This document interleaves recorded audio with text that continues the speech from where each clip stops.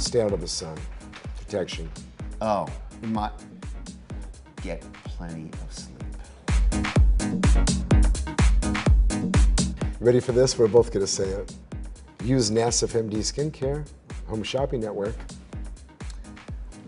Best skincare advice Yeah, is he's not going to say. He's going to do some. don't use Nassif. MD Shut skincare. up. No, I mean we both have our own skincare. I have Consult Beauty, which is huge. His is on life support. No, I'm kidding. I'm just kidding.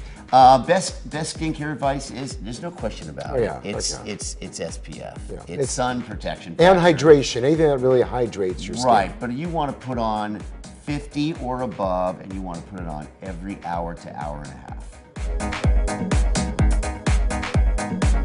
Number one, skincare. Um, smoking, stop smoking because that destroys your skin. And the other thing is what you're going to do Well, sun. you keep your weight steady. If you want your skin to, to stay tight and looking good and not stretch out, keep your weight steady. And, and you know what, though, at the same point, if you're going to do small things now, um, one of the non-invasive procedures that you know you can go to your dermatologist, plastic surgeon's office, start at a good age, so you can do small things to keep your collagen nice and toned.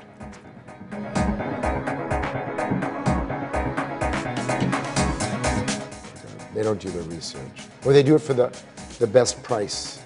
Don't do plastic surgery because it's a bargain. Yeah. Um, biggest mistake is ask your doctor, are you allowed to do this procedure in the hospital? Because if you are, that means the doctor is board certified in that specialty. 50% of the plastic surgery done in this country is done by non-plastic surgeons. Same thing. Um, Sun avoidance. sun avoidance, hydration. The other thing, let's talk about, should we talk about a little bit of Botox then?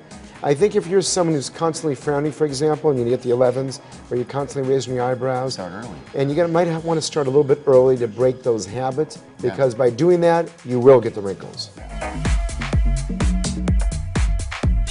Best part of being a doctor is being able to use your skills and your experience to help people. But even more important, the best part about being the botch doctor is being able to use this amazing, incredible experience that the universe has given us and botch has given us to apply to problems that are impossible, that were impossible to us before and impossible to all the other plastic surgeons because nobody gets to do these cases day in and day out. So we're helping these patients that thought they can never get helped. Yeah. And we're achieving a pretty good amount of success. And that appreciation and gratitude Yeah. and the feel good that we get out of it, there's nothing like it. So we are very lucky that we have botched.